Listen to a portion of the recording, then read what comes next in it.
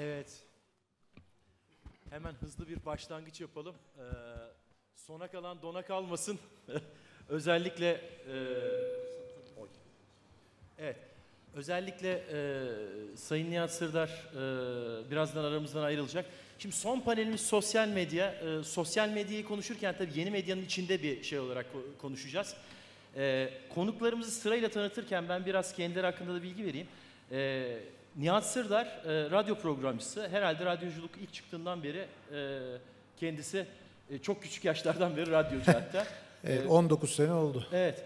Ben de e, çok ilginç 2001 yılında Turkcell'de çalışırken e, ilk Nihat Sırdar bizim e, şeyi ziyarete gelmiş şirketi ve o zaman SMS'le ilk katma değerli hizmet yapan geleneksel medya üzerinden kişilerden birisidir Nihat Sırdar ve kendisi düşünerek bulmuştur tahmin ediyorum bu şeyi. Evet, Çünkü o doğru. zamanlar yoktu bu. Yok o tamamen tesadüfen başlamış bir şeydi. Ee, sabahları e, yolda dinleyen insanlara trafik durumu vermek gerekiyor ve sadece e, Trafik Denetleme Şube Müdürlüğü'nün işte memurunun mesaiye başladığında her sabah e, gönderdiği bir rutin faks var. Hep aynı faks geliyor ama.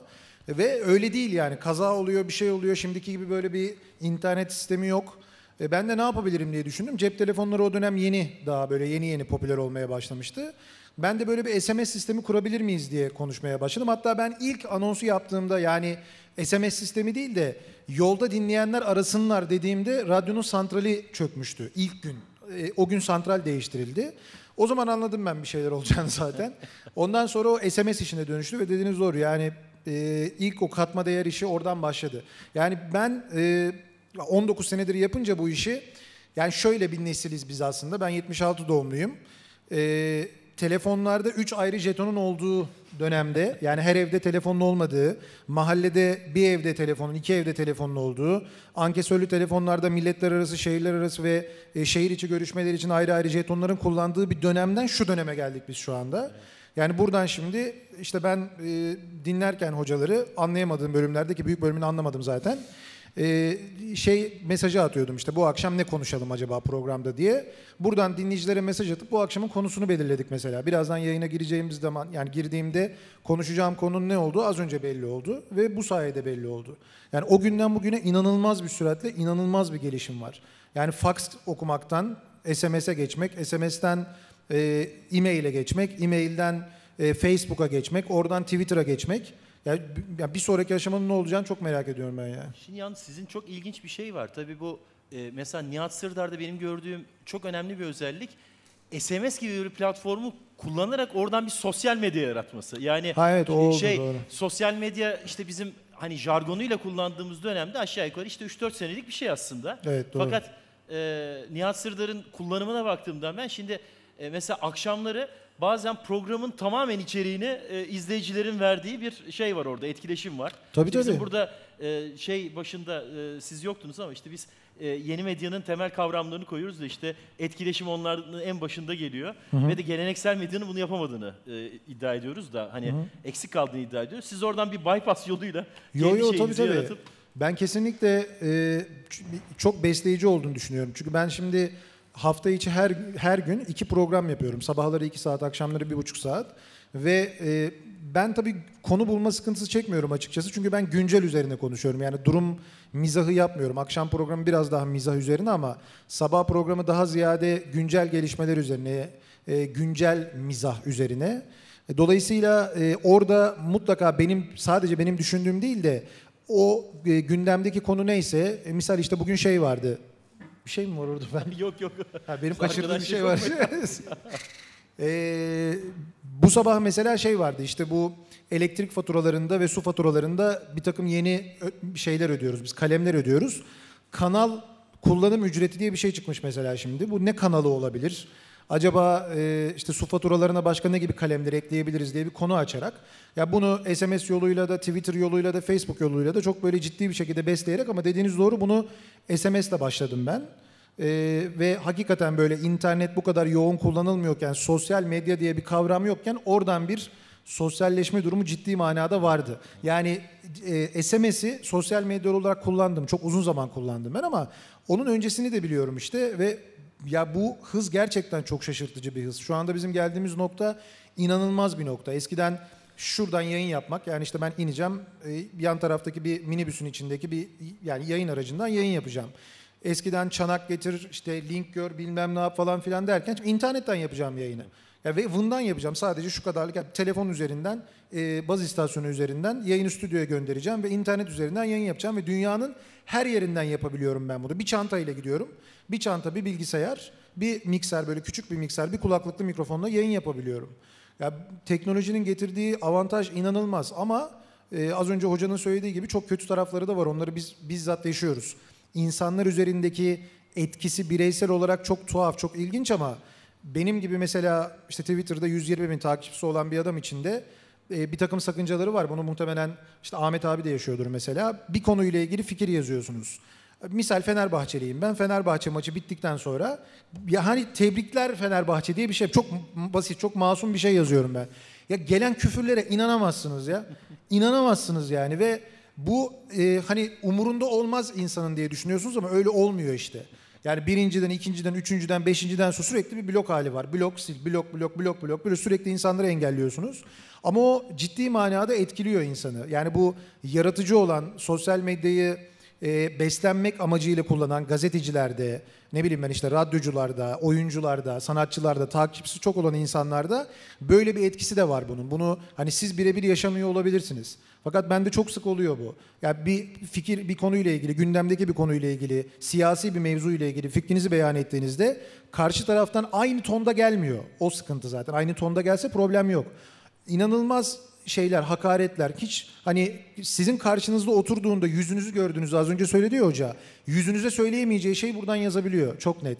Şimdi mesela en çok konuşulan konu şu anda Türkiye'de Twitter'da şey Ali Taran'la e, Ayşe Özilmazer boşanıyormuş. O şimdi konuşuluyor mesela. E, ve Bizim yeni medyanın niye trending topik olamadığını anladınız değil mi? Evet çünkü bir sırayı Ali Taran bir sıra Ayşe Özilmazer ayrıca işgal ediyor şu anda ayrı ayrı. Aziz Yıldırım'la şey de var galiba. Bir. Ha bir de kas davası var. O kastı biraz evet. Ve e, burada öyle şeyler yazıyorlar ki yani hani karşı karşıya gelse Ali Taran'la onun yüzüne söyleyemeyeceği bir şeyi işte beter olun inşallah. Allah sizin belanızı versin. Ee, inşallah Demet bari bu yazı çıkarır falan diye böyle. Demet Akalın evlenmiş. İşte o en azından bu yazı çıkarsın diye yorumlar var. Ya Böyle bir yer burası. Çok enteresan yani. Şey var, e, bir soru daha sorayım size. Yavaş yavaş vakitte geliyor. E, şimdi Nihat Sırdar'ın bir özelliği daha var. Özellikle sosyal medyadaki bir özelliği. Cloud dediğimiz sosyal medya etkinlik skoru diye bir skor var. Bilmiyorum siz takip ediyor musunuz? O skor sadece takipçi sayısına bakarak şey vermiyor. Mesela Cem Yılmaz'ın 2 milyon takipçisi var ama bir tane bile tweet atmıyor ya da atıyor siliyor falan. Bunları şey yaparak sizin mesela bir network'te, bir sosyal medya network'ünde nereye kadar uzanabildiğinizi ve diyelim 120 bin takipçiniz var. O 120 bin takipçinin sizin için neler yapabileceğini ortaya koyan bir şey bu. Mesela bu konuda 100 alan şey var. Justin Bieber var. Yani e, sabahleyin Serdar söyledi, Serdar Kuzuloğlu söyledi. Justin Bieber bugün mesela kendi kitlesine bugün okula kırmızı giyip gidin dediği zaman o 14 milyondan 2 milyonu kırmızı giyip gider. Şimdi Nihat Sırdar'ın e, Cloud skoru Türkiye'deki ben bir ilk 100 yaptım. Oradaki ilk 5 arasında sizin skorunuz. E, işte Okan Bayülgen, Cüneyt Özdemir var. Hilal Cebeci, Erol Köseler ondan sonra siz geliyorsunuz. Hilal'den sonra mı geliyorum, Erol'dan sonra mı geliyorum? Ara sıra yer değiştiriyorsunuz. Yok Hilal Cebeci açık ara önde. Ya o kadar Yani açarsa, o 88 kadar açık ara yani, olması. öyle söyleyeyim. E, skor. Hilal Cebeci ile hiç kendinizi karşılaştırmayın boş verin. Yok zaten. Hilal Soyun nasıl Evet. Aynı pozları ben versem Şimdi son- etkinliği kaybedebilirim ben Gitmeden aksine. önce şunu sorayım. Ee, kendi kitlenizle ilişkinizde e, sizin bence skorunuzun bu kadar yüksek olmanızdaki neden nedir sizce? Şimdi bence şu, ben e, beni dinleyen kitlenin e, çok basit bir söylem olacak bu ama dinleyicilerin hep söylediği şey bu. Onun söylemek isteyip de söyleyemediği şeyi radyodan söylediğim için bu kadar fazla insanlar inanıyorlar ve dinliyorlar diye düşünüyorum ben. Şimdi ben e, şimdi bu dediğiniz skoru bilmiyordum açıkçası. Şimdi sizden öğrendim. Ama kendi etkinliğimle ilgili şöyle bir şey biliyorum. Ben bir akaryakıt eylemi yaptım. Bilmiyorum denk geldiniz mi hiç? Bundan bir 6-7 ay kadar önce akaryakıt fiyatlarını protesto etmek için her sabah 8'de dörtleri yaktırıyordum ben insanlara. Bunu da eğlenceli bir şekilde, eylemce diye yaptırıyordum bunu. Niye? Çünkü eylem sınıfına soktuğunuz zaman hemen e, gözaltına alınıyorsunuz, mahkemeye veriliyorsunuz. Ben bunları çok yaşadım. 74 dava açıldı benim hakkımda. çok yani hepsinden beraat ettim ama çok süründüm mahkemelerde. Ee, bir kere köprüde zam yani köprüye zam geldiğinde köprüde eylem çağrısı yapmıştım. O gün gözaltına alındım misal. Hani dolayısıyla ben e, yandan yöntemlerle bu eylemleri yapma gayreti içine girdim ve sabahları 8'de madem e, bu zamların önüne geçemiyoruz o zaman zevkini çıkaralım diye damat havası çalmaya başladım. ve bu şekilde ya damat havası eşliğinde eğlenerek dörtlerimizi yakalım dedim. Ve ben bundan dolayı İstanbul Emniyet Müdürlüğü'nün şikayeti üzerine Radyo Televizyon Üst Kurulu'ndan uyarı aldım. Uyarının e, maddesi de şu, uyarıyı aldığım madde de şu, yayınların hukukun üstünlüğü ilkesine uygun olması gerekliliği maddesinden ben uyarı aldım. Niye? Dörtleri yaktırıyorum diye. Bu yani hani e, neticede hani böyle şeylerle boğuşarak yayın yapıyoruz onu söylemeye çalışıyorum ama o eylemde özellikle İstanbul'da özellikle büyük kentlerde çok ciddi bir katılım oldu. Yani e, trafiğin çok yoğun olduğu yollarda inanılmaz bir katılım oldu. İnsanlar dörtlerini yaktılar. E, yolda durup halay çekenler oldu. Halay çekerken bana mesaj atıp trafik kamerasına bak tam onun altında halay çekiyoruz diyenler oldu. Ya böyle bir etkinlik gücü var. Ben bunun farkındayım ve ben başından beri söylüyorum 19 yıldır radyoculuk yapıyorum. Radyonun Türkiye'de gerçekten iyi kullanırsanız eğer çok etkili bir iletişim aracı olduğunu çok iyi biliyorum. Elimden geldiğince de iyi, faydalı ve doğru kullanmaya çalışıyorum. Kullanırken de e, sokaktaki insanın da arabada e, ya da metrobüste ya da başka yerde dinleyen insanın da e, söylemek istediğini e, söyleyerek yapmaya çalışıyorum. Zannediyorum bu yüzden insanlar benim dediklerimi ciddiye alıyorlar ve yapıyorlar. En son dün yaşadık bir Vatan Şaşmaz vakası mesela. Bu metrobüste, metrobüslerde bir Vatan Şaşmaz reklam filmi yayınlanıyor. Bilmiyorum haberiniz var mı ondan. Ben de onun üzerine radyoda bununla ilgili konuştum. Sonra e, gazeteciler Kadir Topbaş'a sordular. Kadir Topbaş film yayından kaldırılsın dedi. Ben de bunun üzerine dedim ki Vatan Şaşmaz mağdur olmasın, Vatan Şaşmaz 500 T'ye binsin diye bir e, hashtag açtım. e, Twitter'da bu trend topik oldu bir anda. Vatan Şaşmaz çok kızdı bana mesaj attı. İşte hep geyik hep geyik falan diye böyle. Sonra adama dedim ki bu sizinle alakalı değil. Hani bu orada filmin yanıltıcı olmasıyla ilgili falan diye derdimi anlatmaya çalıştım ama işte oradan başlayarak misal o film kaldırıldı. Adam televizyona çıkıp açıklama yapmak zorunda kaldı. İETT Genel Müdürü'nden daha fazla metrobüsü savundu falan. Yani böyle şeyler oldu. Domine etkisi. Ama niye? Çünkü metrobüsü, şimdi ben de kullandım metrobüsü, kullanıyorum da zaman zaman. Ben orada insanların ne sıkıntı çektiğini bildiğim için bunu bilerek yayından anlatınca e, insanlar ilgi gösterdiler ve yazdılar. Ya ben bilmesem bunu, e, o metrobüs hakkında fikrim olmasa, insanların sabah akşam nasıl tıklım tıkış gittiğini, içinde nefes alamadığını bilmiyor olsam zaten yazamam bunu. Zaten bu konuyla ilgili bir fikrim olmaz. Zaten insanlar yazdıklarımı ciddiye almaz. O yüzden ben e, herkesin yaşadığı, herkesin bildiği ve herkesin içinde olduğu sorunları anlatarak e, bu noktaya geldim diye düşünüyorum. Bir kısa soru alalım mı sizin son diğer e, katılımcıların da sa- Olur ben hemen oraya? zaten sözü bırakacağım. Evet. Tek bir soru alalım Nihat Sırdar'a. Ondan sonra diğer e, konuşmacılarımıza devam edeceğiz. Soru soracak olan varsa alalım. Yoksa Nihat Sırdar'ı süratle Yayına, e, yayına evet. alalım. E, çok teşekkür ederim kendisine de. Var mı soru? Peki. E, teşekkür ederim. Efendim? Şimdiki aklım olsa.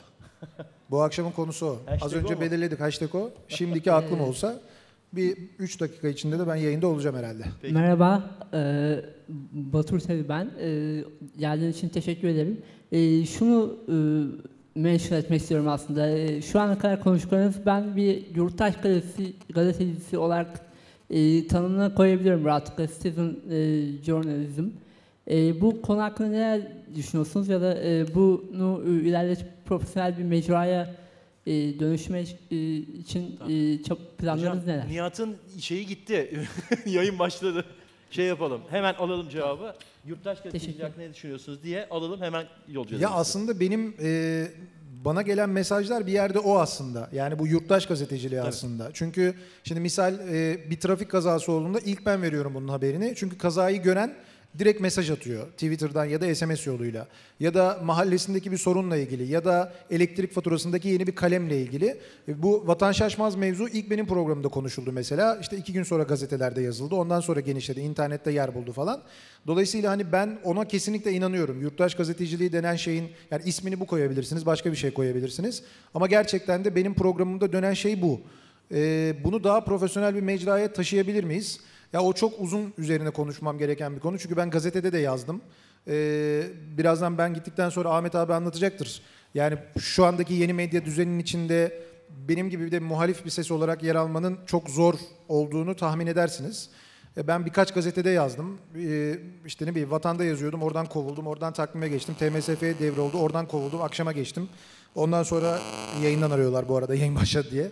Ee, öyle şeyler yaşıyorum. Dolayısıyla onları profesyonel mecraya taşımak, diğer mecralara taşımak en azından biraz güç.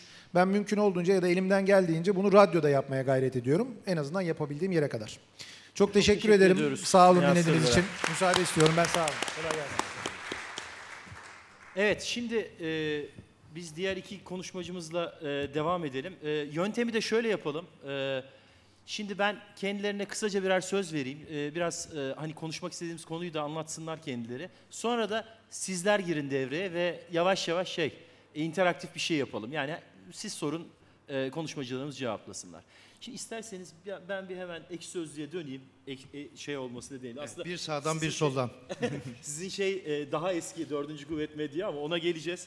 E, sosyal medya denince bizim aklımıza hep Facebook, Twitter'dan başka bir şey gelmiyor çoğumuz için ama e, sosyal medyanın ilk temelleri Türkiye'de hatta dünyada da e, ekşi sözlük diye bir şeyle atıldı. Evet. E, bir konseptle atıldı. İşte Sedat Kapanoğlu kurucusunun e, kendi kafasında e, işte e, bir e, otostopçunun Galaksi Rehberi adlı kitaptan esinlenerek yaptığı bir etkileşimli ortamdı. 1999 yılında başladı. İşte 2012'ye 13. senesine girdi. Ekşi geçen e, 13 yıl var.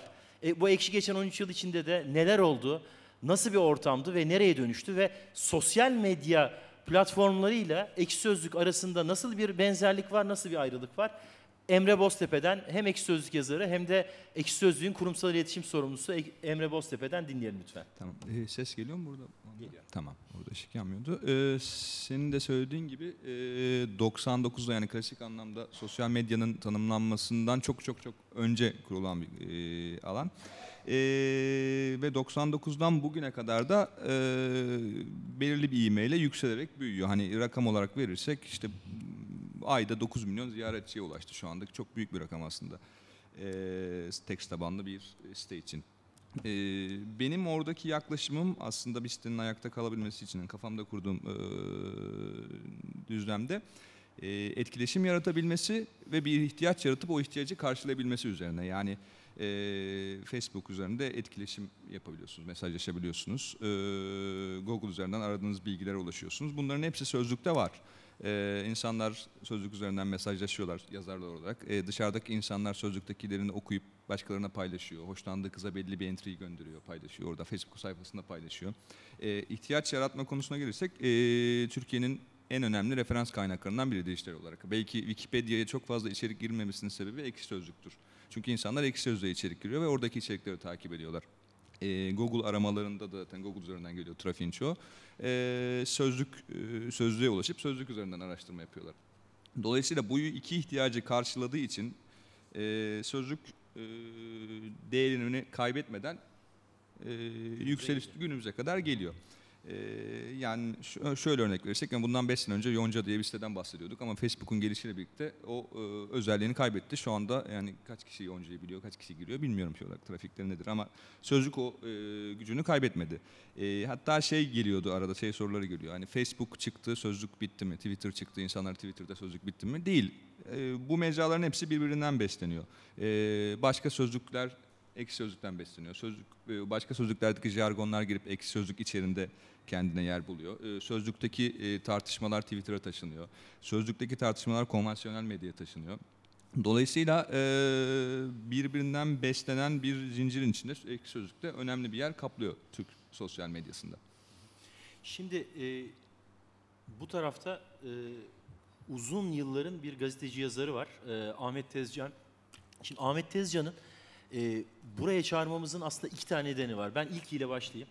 E, Ahmet Tezcan'ın kurduğu 4. Kuvvet Medya.com sitesi aslında Türkiye'de e, hatta dünya örnekleri içinde de ilk medya eleştiri sitelerinden bir tanesi. Yani medyaya eleştirel bakan sitelerden bir tanesi. Hatta bu sitelerden bir tanesi e, şeyle siz kaç yılında kurmuştunuz e, siteyi? 1998. 1998 yılında kurulan, e, ya bir sene önce ya bir sene sonra kurulan Drudge Report adlı bir site. e, bildiğiniz gibi pardon 1996'da galiba e, Monica Lewinsky skandalını çıkartarak Matt Drage'ın sitesi Clinton dönemini bayağı bir sarsmıştı son şeylerinde yıllarında. Dolayısıyla onun yaptığı şey de şuydu. Medyanın yazamadığı şeyleri, geleneksel medyanın yazamadığı şeyleri kulislerde konuşulanları alıp şeye taşımaktı, e, yeni medyaya taşımaktı. E, ve bunu e, tabii Drage e, böyle sizin tarzınızda bir eleştirel bir şey, bakışla yazmıyordu. Ama siz de genel olarak medyada yazılmayanları o bağlamda yazarak e, Dördüncü Kuvvet Medya'yı bir dönem e, şeye kadar, e, 2000'li yılların başına kadar e, oldukça e, bu medyada konuşulan bir site haline getirdiniz. Nasıl geçti bu deneyim? Yani bu, bu da bir yeni medya Şimdi aslında Dördüncü, ve Dördüncü Kuvvet Medya daha önce 1995 yılında e, televizyon programı olarak başladı. E, televizyonda Kanal 7'de ilk defa medya eleştirisi yapan bir program olarak başladı.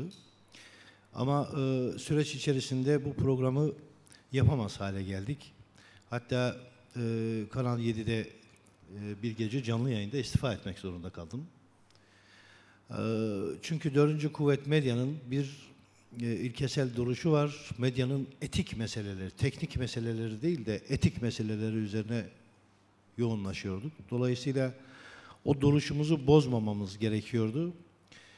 Ee, Programı e, başka kanallara taşıdık. 5-6 kanal dolaştık ama en son e, Flash TV'de sadece iki hafta yapabildik programı. Daha sonra kaldırıldı.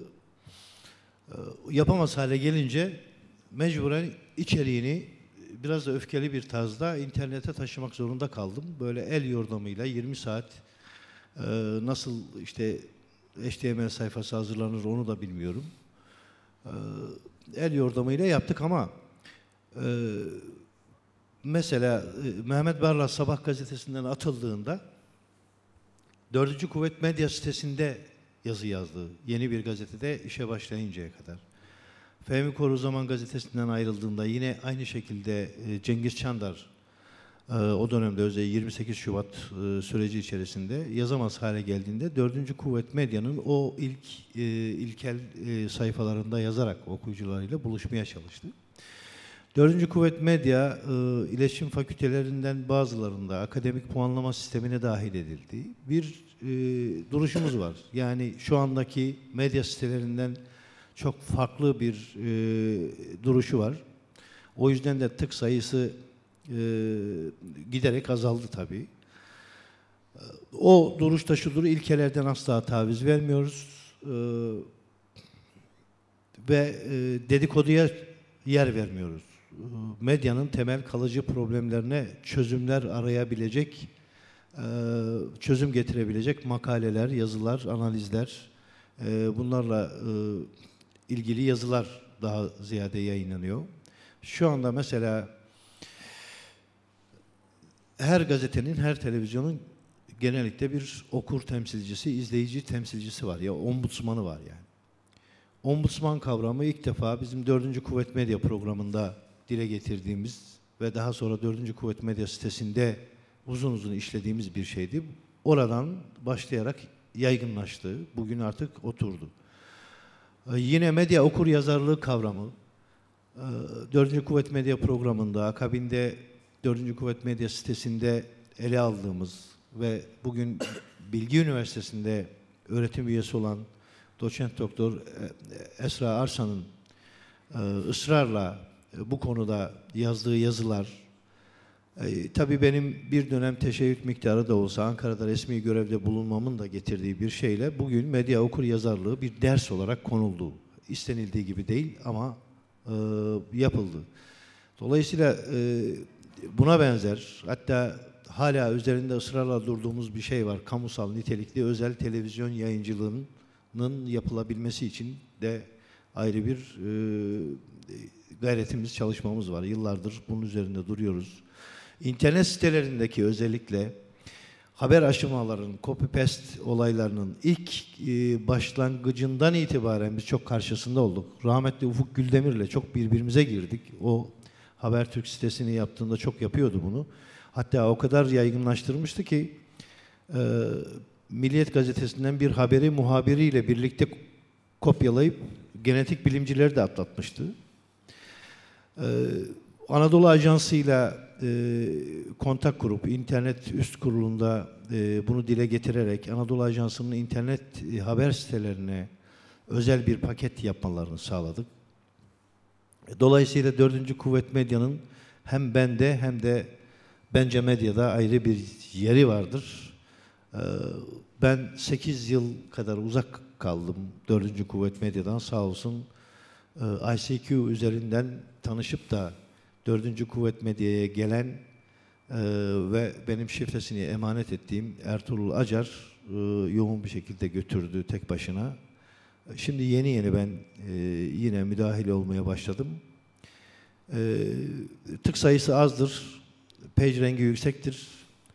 E, dediğim gibi akademik puanlama sistemine dahil edilmiş belki de tek internet sitesidir. Özellikle medya alanında. Bu bakımdan dördüncü kuvvet medya e, iyi, iyi bir şey yaptım dediğim şeylerin e, herhalde başında geliyor. E, Ahmet Tezcan'ı e, yani son Van depreminde başka bir olayla daha e, kamuoyunda bayağı e, şeye geldi, gündeme geldi. E, bu Van depremi sırasında yapılan Evim Evindir Van kampanyası değil mi? E, bu Van depreminin hemen arkasından e, işte bu yapılan e, belediyelerin, kamu kuruluşlarının, özel e, girişimlerin e, vasıtasıyla bir sürü kampanya yapıldı. E, fakat Evim Evindir kampanyası e, hani e, maddi yardımın dışında aynı olarak da insanları kucaklama anlamında galiba e, farklı bir e, şey oldu, e, nosyonu oldu. Evet. Biraz bundan da söz edebilir misiniz? Çünkü bunu şundan soruyorum. Şimdi e, Van depremi sırasında bayağı bir nefret söylemi vardı sosyal medyada. E, ilk e, olur olmaz Van depremi işte o deprem bölgesinin hassasiyeti nedeniyle oralarda bir sürü e, böyle işte onlara şunu gönderelim, bunu gönderelim falan tarzında e, ciddi anlamda zaten. gönderenler de vardı. E, o dönemde işte hem bu maddi yardımların gelmesi hem de böyle bir hashtag üzerinden bir hareketin başlaması aslında bu nefret söylemini de biraz kıran bir yanı oldu bence. Yani. O bağlamda biraz değerlendirir misiniz? Yani nedir O sonuçları tamamen nedir? tamamen bir kişisel e, girişimdi. Yani bugüne kadar e, işte büyük felaketlerde SMS'le 5 lira göndermenin dışında çok fazla bir şey e, yapamadım ben kendi açımdan söyleyeyim. O büyük depremde İstanbul e, Gölcük eksenli olan e, büyük depremde e, biz evden bir çıktık. Bir yıl sonra kendi evimize dönebildik ama o süreç içerisinde hiçbir şey yapamadık. Ee, Bunun acısı e, var. Evde televizyon seyrederken e, Van'da deprem olduğunu gördüğümde, ilk görüntüleri e, gördüğümde aklıma ilk gelen önümüz kış, hatta kışa e, girmiş de durumdaydık. E, Bu insanlar ne yapacaklar? Çünkü 99 depreminde biz günlerce sokakta kaldık, dışarıda rahat bir şekilde diye Ağustos ayıydı çünkü. E, Ama oradaki insanlar ne yapacaklar? Ee, derken yandaki e, dairedeki kiralık ilanı gözüme ilişti. Ee, bu kiralı kiracı bekleyenler niye evlerini e, bu insanlara tahsis etmesinler diye düşündüm. Sonra dedim ki senin İstanbul'da ara sıra İstanbul'a geldiğin zaman kaldığın evin var. Boş durumda duran. İçinde birkaç parça eşya var sadece. Niye orayı tahsis etmiyorsun? Bunu bir niyet olarak ben evimi açacağım diye yazdım müthiş bir kabul gördü. Sağ olsun Erhan Çelik, Kanal 7 Anchorman'ı Erhan Çelik o da destek verdi ve e, e-mail adresini açarak bu tür gönüllülere e, e-mail çağrısında bulundu ve birkaç saat içerisinde binlerce insan evlerini açacaklarını söylediler. Ee, en son Kalkınma e, Bakanı'ndan aldığım bilgi 200 binin üzerinde insan Van'dan e, uzaklaştı. Van'ın dışındaki yerlere yerleştirildi. E, bunun 100 bin kadarı Evim Evindir Van kampanyası e, çerçevesinde evlerini açan insanların evlerine yerleştirildi. Bu çok e, önemli bir şey. İşte 150-200 yıllık yanlış politikalarla ve e, hem dışarıdan hem içeriden e, yapılan propagandalarla bir zihinlerimizde bir bölünmüşlük algısı yaratılmıştı. Bu sanal bir şeydi, oluşturulmuş bir şeydi. Ve evim evindir Van kampanyasıyla bunun gerçekliğinin olmadığı ortaya çıktı.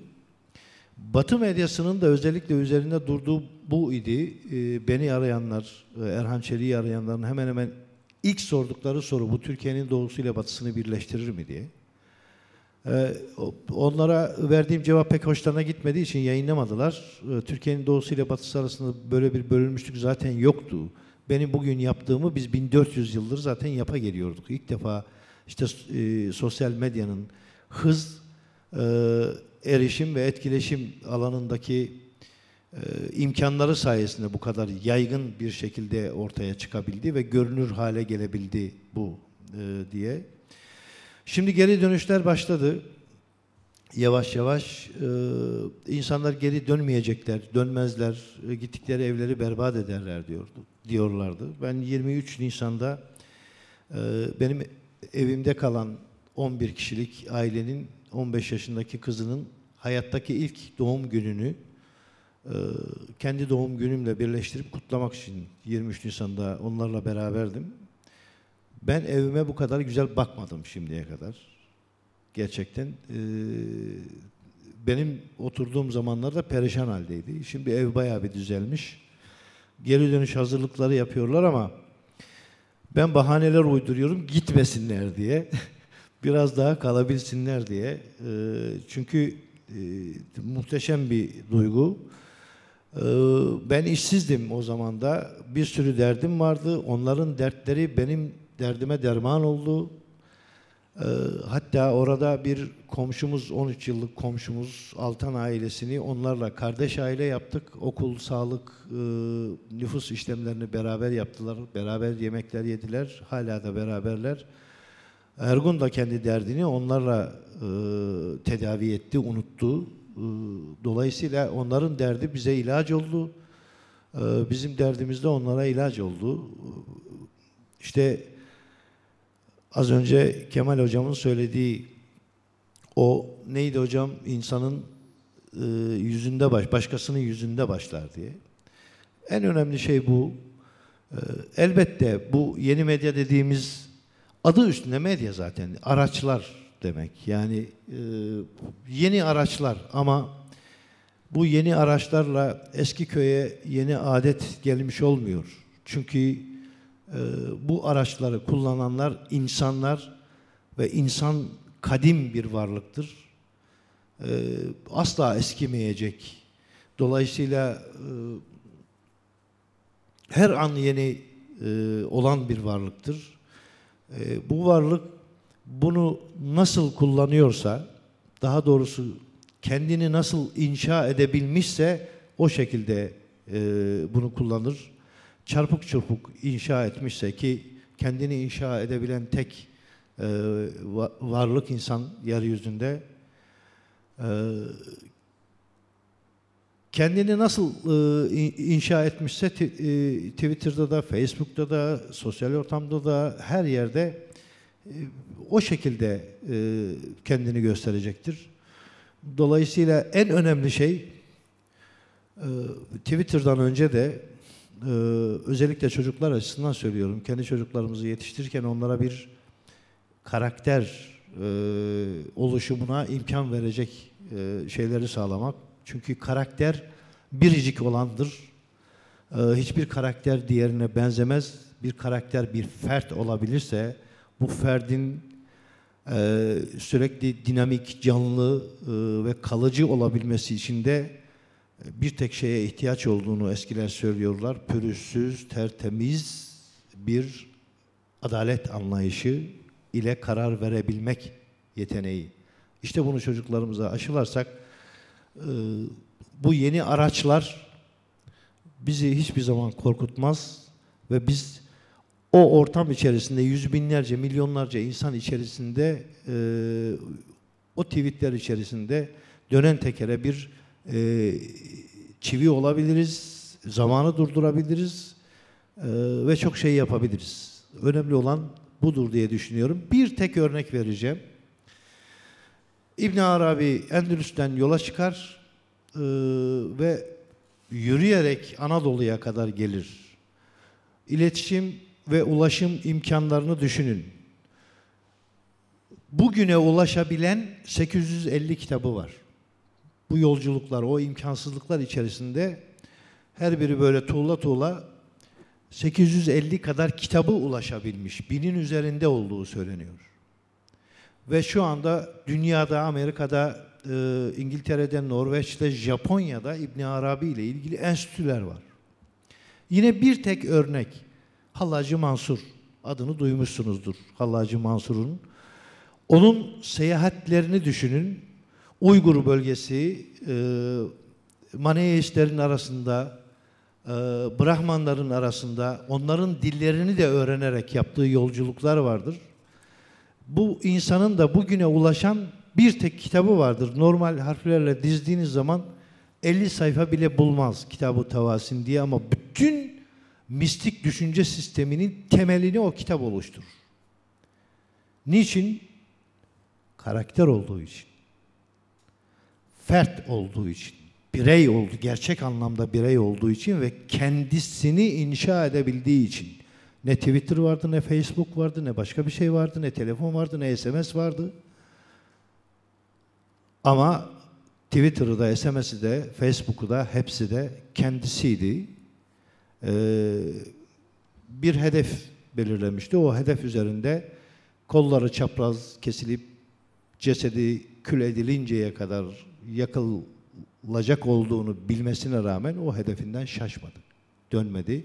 Dolayısıyla birazcık onlara yaklaşabilirsek e, Kemal Hocam'ın burada Şahmet Tellallığı'nın boşa çıktığını hepimiz görürüz inşallah. Ee, şimdi şey bu dayanışma noktasından e, aslında bu Van depremi ile ilgili e, ekşi sözlük tarafında da bir takım e, kampanyalar yapıldı sanırım. Emre Ee, kampan- sosyal medyanın gülen yüzü ya da işte e, sizler neler yaptınız? Ne ne düşündünüz? Bizim neler- sözlük olarak yaptığımızda bir kampanya var ama asıl benim e, değinmek istediğim nokta tam o günlerde e, bir sözlük yazarı, kurmaca bir hikaye bu gerçek değil. Ha, evet. Sonradan kurmaca oldu Tweet ortaya attı, çıktı. şey diye. Bir Twitter'dan gördüğü bir şeyi e, gerçek kendi başından geçmiş gibi sözlükte paylaştı. E, bir gün düşersen... Enkaz altındayım Evet, değil mi? yok enkaz altındayım diye değil. Bir gün düşersen ben de senin elinden tutacağım kardeşim. Başlık Ha, buydu. evet. Altında da gönderdiği e, kargodaki telefon numarası, adresi bulup o adrese mektup yazan Van'da bir çocuğun e, hikayesi gibi anlattı. Bu bir anda sözlükte popüler oldu. Ardından e, konvansiyonel medyaya yansıdı. E, haber sitelerinde manşet oldu. E, ana haberlere kadar çıktı yanlış hatırlamıyorsam. Ve sizin bahsettiğiniz o nefret söylemi ortamını bir anda ikinci plana etti. İşte evet onlar da bizim kardeşimiz. İşte bak böyle e, biz de sıkıntı yaşadığımız zaman onlar da bizim yanımızda olacak deyip hani belki e, o e, heyulaya kapılacak ve negatif şeyler yazacak insanları da pozitif yönde çevirdi. Gerçek olmayan bir e, hikaye. Daha sonra çocuklar açıkladı zaten hani e, medyadan onunla iletişime geçmek istediler. Yani bu benim başımdan geçen bir şey değil. Kendim kurmaca yarattım diye. E, ama e, sosyal medyanın etkisini göstermesi açısından çok güzel bir hikaye oldu. Tam Ahmet Bey'in e, yaptığı kampanyayla denk düşen bir şey olduğu için onu belirtmek istedim. Sorular. Evet. Mithat. Buyurun. Artık yeter. Ee, Ben Tohumutizm Vakfı'ndan geliyorum. Aslında burada olmamın bir sebebi de sosyal medyadaki STK'ların rolü, sivil toplum örgütleri ne kadar kuvvetliydi, ne kadar direkt kullanıcıların e, sorularına cevap verebiliyor ya da ne kadar örgütlenebiliriz biraz bunu araştırmak istiyorum. Ee, onun için sizi e, bütün sabah 9'dan beri buradayım, bütün panelleri dinledim. Ee, sizlerin bu konudaki görüşlerini çok merak ediyorum. Sivil toplumun bu yeni medyadaki yeri sizce nasıl ya da neler yapmalı? Ee, ne yönlere eğilmeliyiz? Gönüllülerle mi ilerlemeliyiz? Bunun için birimler oluşturmalı mıyız? Ee, ve biz bu anlamda yaptığımız farkındalık anlamındaki çalışmalarımızı yeni medyaya nasıl taşıyabiliriz? Benden mi? Evet, biraz sizden bekliyorum bunu. Ben moderatördüm. Peki. Ee, ya e, biz e, bu şeyi yazarken e, bu organizasyon komitesi olarak e, bu e, yeni medya konferansının bildirisini yazarken kimler katılmalı diye bir soru sorduk. Ve o sorular içinde zaten sesini duyuramayan STK'lar şeydi, ayrı bir başlık halinde vardı. Çünkü onlar için bu yeni medya işte hani e, genelinde yeni medya her an- her açısından. Özelinde ise özellikle e, sosyal medya bulunmaz bir yer. Zaten e, şöyle insanlar eğer siz e, projenizi, fikrinizi, idealinizi iyi empoze ettiğiniz zaman oradan işte dünyanın her yerinden her türlü insanın katılabildiği ve bunun adeta bir kar topu gibi büyüyebildiği bir e, şey yapıyoruz. Yani hani fiziksel STK değil de aslında artık sanal STK'lar da oluşmaya başladı. İşte Ahmet Tezcan'ın yaptığı hareket aslında bir sivil toplum hareketi. Yani hani illa K olması gerekmiyor, kuruluş olması gerekmiyor. Keza ekşi sözlükteki e, hareketler yine e, şeyler. E, e, bir sürü belediye e, mesela e, ben e, Kadıköy'de oturuyorum. Van depremi sırasında çok ilginç bir e, şey yaşadım, deneyim yaşadım. Kadıköy Belediyesi'ne gittim ben. Bir, bir çift ayakkabı aldım, gittim belediyeye vereceğim. Girdim içeriye. Hiç belediye görevlisi yok. Bütün gençler orada istila etmiş orayı. Adamlar vermişler yere. Tamamen orada bir fabrika gibi bir ortam kurmuşlar ve belediye memurları şeyde oturuyordu. mer- merdivenlerde oturuyordu. Hatta de- demişler ki onlara siz oturun burada. Çünkü onlar çok dinamik ve bu işe adanmış bir şey oldukları için siz oturun burada biz şey kuralım diyor. Bakın şöyle gelişti olay. 42 numara erkek ayakkabısı. Adam megafonla dedi ki 42 numara erkek ayakkabısı. Bir tane adam elini kaldırdı oradan. Gittim ben oraya. Bir tane bana şey gösterdi. Ee, bir erkek e, işte orta boylu bir erkeğin herhalde onun için bir paket yapmışlar. O mukavva kutuda ayakkabıyı koydular. 42 numara ayakkabı, siyah ayakkabı yazdı. O paket şey yapıldı. Adam yine elini kaldırdı. Oradan bir çocuk geldi. Aldı götürdü şeye koydu onu. Ee, bir e, e, arabaya kapalı işte kamyonete koydu onu ve ondan sonra bütün o mukavvalar şeyler dolunca kargolarda olunca o kamyon hareket etti. Resmen fabrika gibi işliyor ve şöyle söyleyeyim size Van depremi e, yanılmıyorsam 27 Aralık'ta oldu değil mi? E, yok. 27 Aralık. Bilmem Neyse, Google'a Pazar bakın. günü olduğunu hatırlıyorum ben. Salı günüydü bu.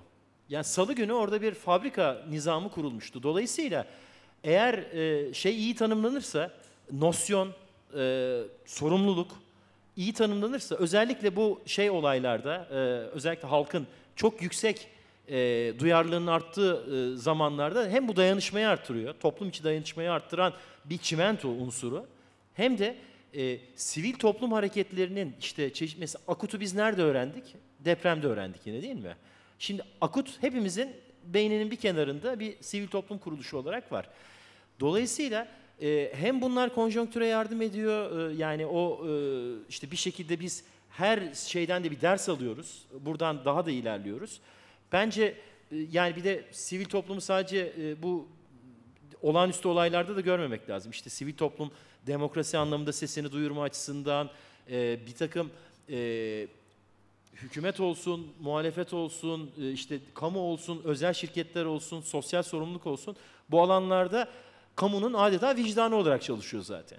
Dolayısıyla bu vicdan e, duygusunu e, yaymak için en iyi ortam yeni medya zaten. Burada bir müdahalede bulunayım. E, mesajın dozajını da e, iyi ayarlamak Ah, gerekiyor. evet. Çünkü örneğin e, Mithat Bereket'in 2000 yılında anlattığı bir hikaye vardı. Bir yaşlı kadın kan ihtiyacı var ve onunla ilgili bir mail zinciri başlatılıyor.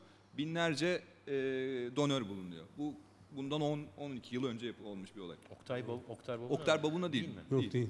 Ee, ama e, geçtiğimiz aylarda televizyon programlarına kadar çıkan artık e, Twitter'da trending topic olan bir e, çocuk vardı. Onun için bin tane donör bulundu ilik nakli için. Hani e, sosyal medya kullanıcısı çok çabuk sıkılan ve duyarsızlaşan bir kitle aslında. Onlara mesajı çok fazla verirseniz e, bir süre sonra görmezden geliyorlar onu. Dolayısıyla biz e, şeyde de yaşadık. Van depreminde e, biz de bir yardım kampanyası başlattık ve sözcüğün en görünür noktasında bir yaklaşık bir ay boyunca bu kampanyanın duyurusunu yaptık. E, şimdi rakam vermek istemiyorum ama e, 9 milyon kişinin girdiği bir sitede o ve çok da kolay bir sistem kurmuştuk. Çok az yardım gitti. E, 3-4 ay sonra yapmıştık çünkü kampanyayı. O ilk sıcaklık yoktu. Dolayısıyla e, o mesajın dozunu iyi ayarlanmazsa geri dönüşü hayal kırıklığı yaratabiliyor bazen. Bir de burada belki markalara bir şey söylemek lazım. Bu e, Onur Air diye bir olay oldu o şey zamanında. Deprem. e, deprem zamanında işte şey e, biraz o dozajı ayarlayamamaktan kaynaklanan bir sosyal medya skandalına imza atıldı orada. İşte e, şey e, Van depremi sırasında işte bu havayolu şirketinin Facebook e, şeyini sayfasının like'ı üzerinden bir yardım kampanyası başlatıldı like oranı üzerinden ve bu sosyal medyada ciddi anlamda e, yayıldı. Negatif tepkilerle yayıldı ve bunun üzerine de e, firmanın e, yetersiz diyeyim e, kurumsal iletişimi ciddi bir şey skandalına imza attı. Sonra da E, dekontu koydular. Aynı zamanda şey için de geçerliydi bu. Türk Hava Yolları için de geçerliydi. Öyle mi? Tabii Türk Hava Yolları özellikle e, transferler konusunda sadece AFAD'ın e, kendilerine gönderdiği e, listeyi dikkate alıyor ama çok acil şeyler var. Mesela benim evime e, ikinci depremde gele- e, gelecek olan bir anne ve üç tane çocuk en büyüğü 4 yaşında iki gün dışarıda kalmışlar e, ve çocuklar za- zatür olma tehlikesiyle karşı karşıya onları uçakla acil getirmek ihtiyacı hasıl oldu. Türk Hava Yolları'na e, başvurduk. Ama yok asla ne fiyat indiriyorlar ne bir şey yapıyorlar E, ve bununla ilgili olarak Twitter üzerinden e, işte biraz baskı yapalım dediğimizde şu anda aramızda olan Beyhan Demirci'ye e, Türk Hava Yolları Yönetim Kurulu Başkanı'nın Twitter üzerinden bir e, hakareti söz konusu oldu.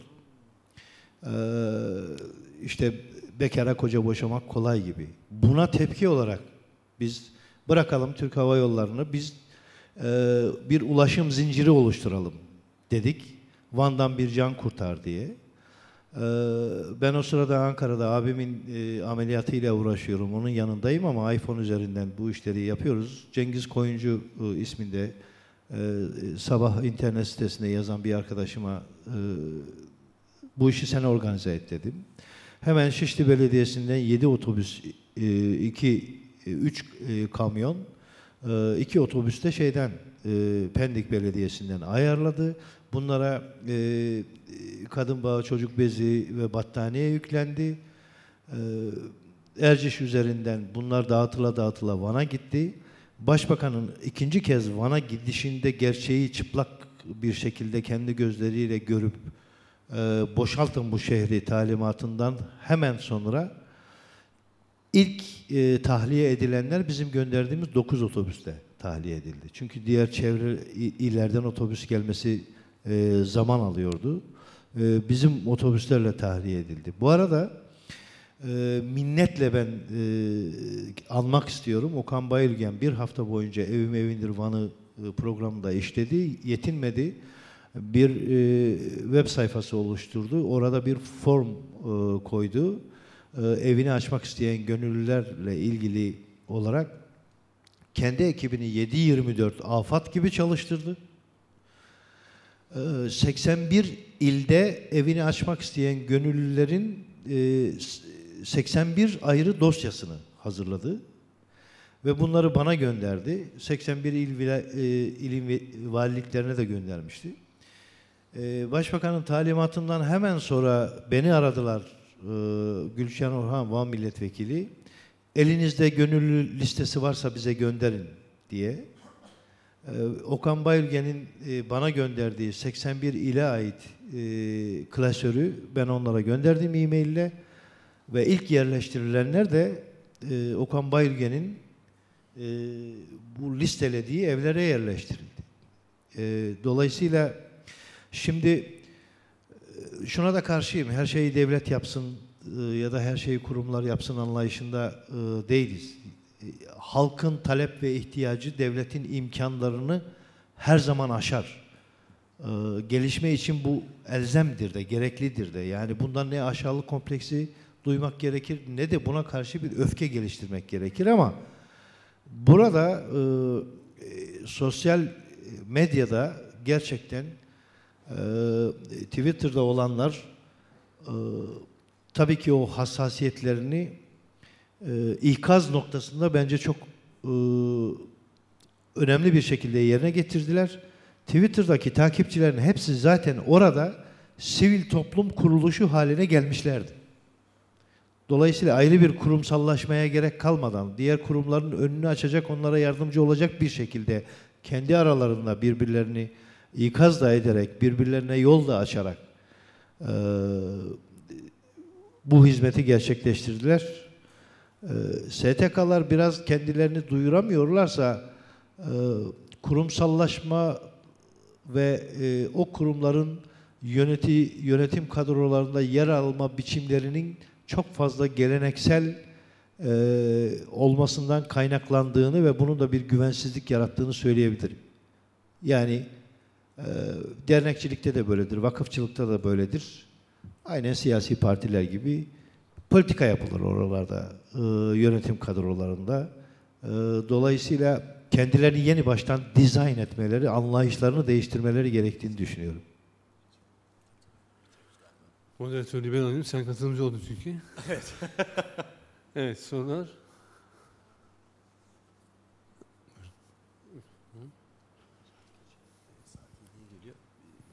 Bir sorudan sonra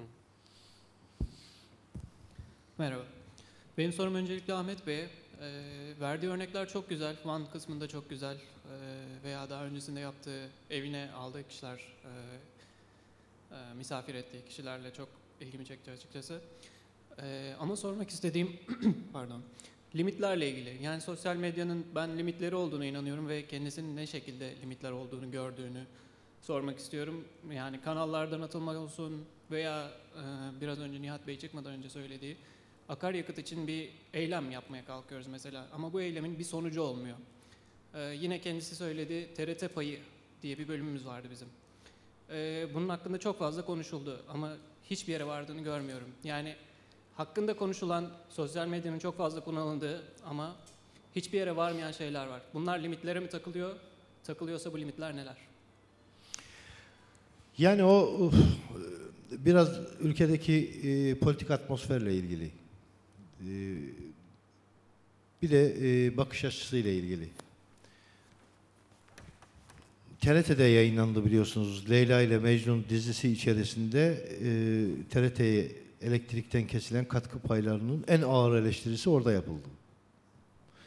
E, yani bu kadar e, yere vuran bir şey yap, yapılmamıştı şimdiye kadar. Ve e, TRT yönetimi de sansürden her şey geçer orada. Başbakanın konuşmaları bile mutlaka denetimden geçer. E, ses çıkarmadılar ve bunu yayınladılar. E, bir müddet sonra yani orada yaptığınız her eylemin mutlaka e, anında cevap bulması gibi bir şey söz konusu değil. Zaten eylemler e, genellikle dikkat çekmek için, bir probleme dikkat çekmek için yapılır. O problemler hemen ertesi gün halledilsin diye değil. Bu bir süreçtir. Devlet e, çarkı da biraz ağır işleyen süreçtir. Konjöktüre de bağlı bir şey.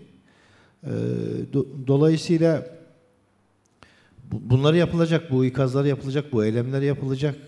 E, devlet adamları da kendilerini e, biraz daha e, bu sosyal e, medyadaki isteklere, taleplere e, bakış açılarını değiştirmek zorunda kalacaklar. Değiştiriyorlar da zaten.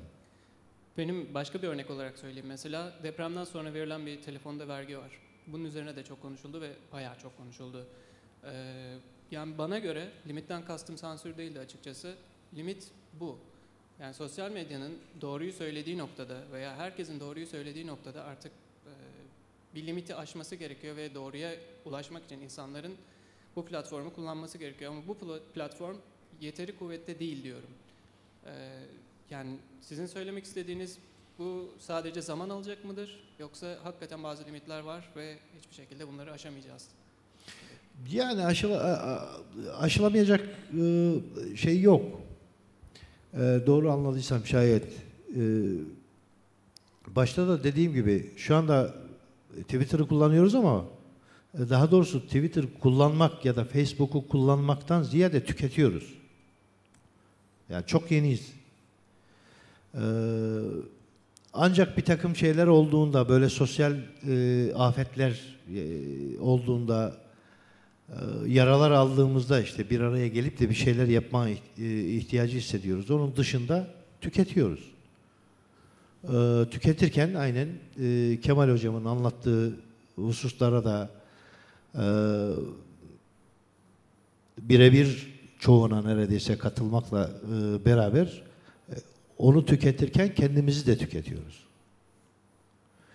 Şu anda bir kullanım henüz tam olarak yerine oturabilmiş değil. Yani sosyal medya alanında. Ama işte bu afetle birlikte bunun çok güzel örnekleri verildi. Ee, bu yaygınlaşacaktır, kalıcı olacaktır. Onun arkasından pek çok şey geliştirildi. Hala işte bugün işte kan e, meselesi dışında bugün e, retweet yaptım. E, bir anne e, engelli e, çocuğu evlat edinme e, ile ilgili bir sayfa e, oluşturmuş. E, o e, şeyi internetten duyurmaya çalışıyor. Twitter'dan duyurmaya çalışıyor. E, Dolayısıyla bunlar birer, ikişer, üçer giderek yaygınlaşacak. O biraz e, toplumun bilinç düzeyinde yükselmesi, işte en başta söylediğim biz ne kadar biziz, e, ben ne kadar fert olabiliyorum, karakter olabiliyorumla alakalı bir şey. Son bir soru daha alalım. Var mı soru? Buyurun. Bayanlarınız.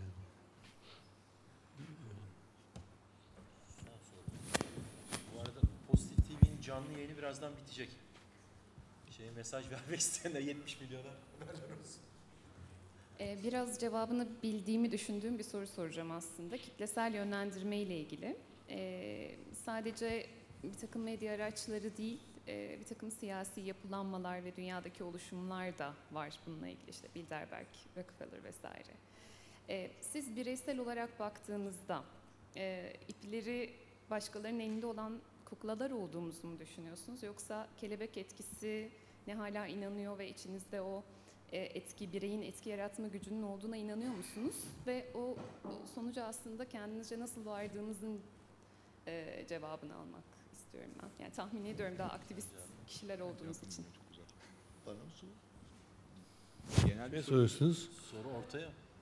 Yani irade e, ile aslında e, kendi kaderimizi mi hayattaki ilerleyişi Tamam, yön kime- verebiliyor muyuz? Kime soruyorsunuz soruyu? Kime soruyorum pardon? E, Herkese aslında. Allah. İsmail Bey de dahil olmak üzere. Ben hemen e, söyleyeyim. Hür insan nedir? Hür insan her şeyi yapabilen insan mıdır? Ben şuna inanıyorum. Hür insan kendini sınırlayabilen insandır. Kendinizi ne kadar rahat sınırlayabiliyorsanız o kadar hürsünüzdür. Ee, insan dediğimiz varlığın ipleri asla başkasının elinde olamaz zaten. Şimdi eski e, tabirler var. İnsan kelimesi de Türkçe olmadığı için e, özellikle bu kelime üzerinden e, yola çıkmak istiyorum. Bir beşer kavramı var, bir insan kavramı var.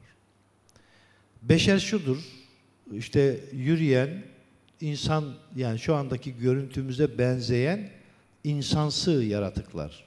Yani kendi iç e, dünyasını, kendi iç inşasını tamamlaya, tamamlamamış olana beşer deniliyor. O yüzden eskiler beşer şaşar demişler. İnsan şaşmaz ama. Eğer insan olabildi ise şayet, beşer aşamasından bir öteki aşamaya geçebilmiş ise. Dolayısıyla insan dediğimiz varlığın ipleri asla başkasının elinde olmaz. Ancak kendi elinde olur. Dolayısıyla bu da o insanın kendini nasıl ve ne kadar sınırlayabildiğiyle alakalıdır. Diyorum. Sözü hemen Emre Bey'e bırakıyorum. Ee, Tamam siz de cevap verin. Madem ki öyle. Hatta Ee, Ben daha minimal bir cevap vereyim o zaman. Hani ekşi sözlükle ilgili e, yıllardır gelen eleştiriler var bu yönde. İşte içinde bir takım editörler var, onlar yönlendiriyor, şey yapıyor. Yani sürekli gelir gazetecilerden de dışarıdan da. Ee, tamamen yazarların kendi inisiyatifiyle yazdıkları ve oluşturdukları bir gündem var.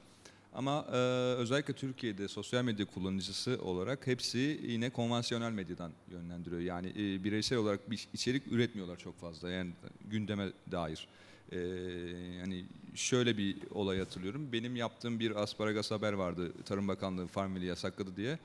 Bu daha sonra Ee, Farmville var ya. Farmville uygulaması. Ee, bu e, konvansiyonel medyaya taşındı. Ee, gazetelerin e, ana sayfalarına çıktı.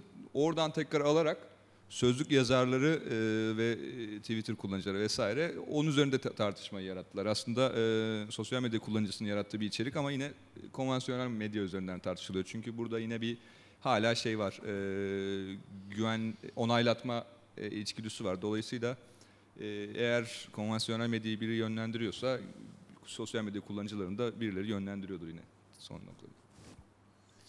Buyurun sayın katılımcı. Ben şey diyeyim, eğitim şart diyeyim. şey, saat 7'yi geçince başka şey gelmiyor aklıma. Şey, e, yani e, bilinç gerekiyor. Ben hep şey diyorum, e, panellerin sonlarında yeni medya etiği diyorum ben. Peki teşekkürler. Hadi son bir soru tamam. Sabahtan beri buradayız. Ee, insanlar işini gücünü derslerini bırakıp geldiler. Sosyal medya hayatımızda e, dünyada olduğu gibi Türkiye'de de öngörülenden çok hızlı büyüdü, gelişti. Ee, siyasal iktidarları deviriyor, toplumda birçok derde çare oluyor ama bunun içerisinde yaşanılan sorunlar da var. Ee, tam benim soracağım soru konusunda Emre Bey bir giriş yaptı aslında. Sosyal medyada yaşanan e, manipülasyonlar, e, uyduruk hikayeler ve insanların, kitlelerin, milyonlarca kullanıcının hiçbir akıl süzgecinden geçirmeden bu haberlerin peşine takılmaları. Biraz önce Van depremi örneğindeki e, ki yararlı bir e, girişim olmuş. O bir gün ben de düşersen yardım edebilirim. Örneğin kurgu bir olay gerçek gibi algılanabiliyor ve bunun gibi bir sürü örnek var. En son e, bir iletişim fakültesinde tez çalışması yapan bir arkadaş bu Eurovision'a katılacak Bonomo ile ilgili gene asparagas bir haber yaptı hatırlarsanız. E, ve bunu e, işin ilginç yanı hem konvansiyonel medya basılı gazeteler hem de ciddi haber siteleri de bunu e, kullanıyorlar. E, bu nasıl bir olgudur? Yani milyon trend topping olan bazı hashtaglere bakıyoruz. E, ertesi gün gerçek dışı olduğu ortaya çıkıyor. Ve interneti kullanan insanların e, eğitim düzeyi de yüksek. Böyle olmasına rağmen insanlar nasıl bu kadar akıl süzgecinden geçirmeyip birilerinin peşine takılıp gidiyorlar.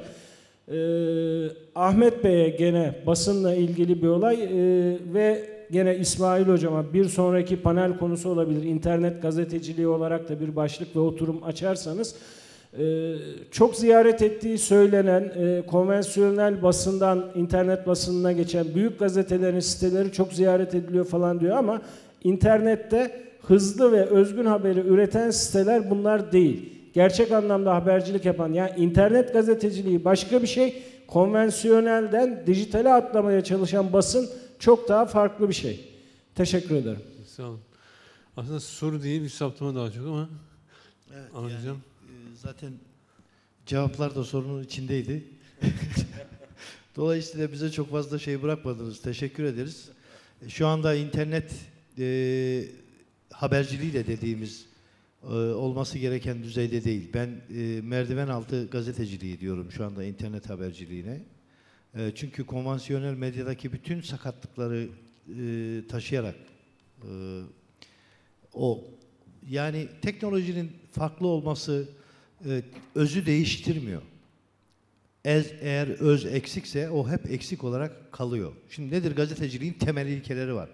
İşte basın konseyinin basın meslek ilkeleri diye çıkardığı, gazeteciler cemiyetinin e, kendisinin bile uymadığı Türkiye Gazeteci Hak ve Sorumlulukları Bildirgesi. Orada her şey yazıyor. Siz gazeteciliği hangi ortamda yazarsanız, e, yaparsanız yapın. E, işte internette yapın, kumsalda kumların üstüne yazın ya da lazer teknolojisiyle gökyüzüne yazın haberlerinizi bu temel kodlar değişmez. Bunlara uymuyorsanız e, internetten şikayet etmenin, e, Twitter'dan başka şeyden şikayet etmenin alemi yok. İnsanın kendisinden şikayet etmesi gerekiyor. Çok sağ olun. Sabahtan beri bizlerle olanlar için bravo. Yeni katılanlar varsa iyi akşamlar. Yine bekleriz. Evet, konferanslar tabii e, Murat hocamızın ve Deniz hocamızın da söylediği gibi e, artık e, şey bir hal alacak, e, düzenli bir hal alacak inşallah ve önümüzdeki e, sene belki de daha bu e, söylediğimiz başlıkların her birini ayrı birer panel ya da etkinlik konusu haline getirip devam edebiliriz. Evet. Doğru. İşte bir başlangıç olsun dedik ama. Bir Yani başlangıç bir, olsun. bir tat olsun bu. Çok teşekkürler. Sağ olun. Çok sağ olun. Sağ olun.